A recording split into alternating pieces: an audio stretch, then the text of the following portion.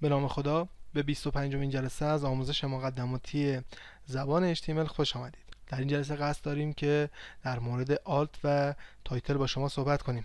همونطور که می‌بینید من یه عکس از بازی Hitman داخل page مون load کردم به عرض 200 پیکسل و ارتفاع 100 پیکسل. سابق بر این در HTML 5 به پایین ما می‌تونستیم از attribute title فقط در بعضی از tag استفاده کنیم. ولی از HTML 5 به بعد ما می‌تونیم attribute title رو در تمام tag ها استفاده کنیم. title میاد و یه راهنمای کوچیک راجع به اون tag به ما میده. من می نویسم تا شما ببینید. save می‌کنم کنترل F5 حالا قبل از اینکه تست کنیم من یه کلمه توضیح بدم. وقتی شما موستون رو روی tag می‌برید یعنی hover کردید.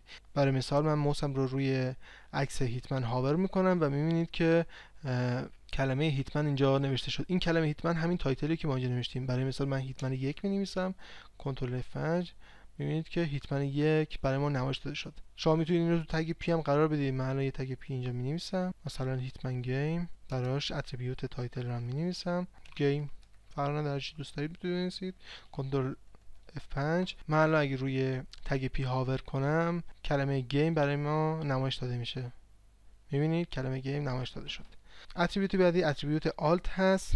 alt به ما کمک می‌کنه اگه به هر دلیلی اون محتوای tag ما load نشد یه نوشته یا یه متنی برای ما نمایش داده بشه.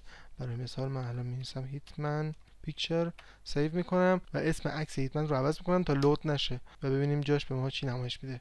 کنترل F5 می‌بینیم که Hitman picture ی که اینجا ما نوشتیم برای ما نمایش داده شد امیدوارم که با alt و title آشنا شده باشید. در جلسه بعدی با audio element ها آشنا میشیم.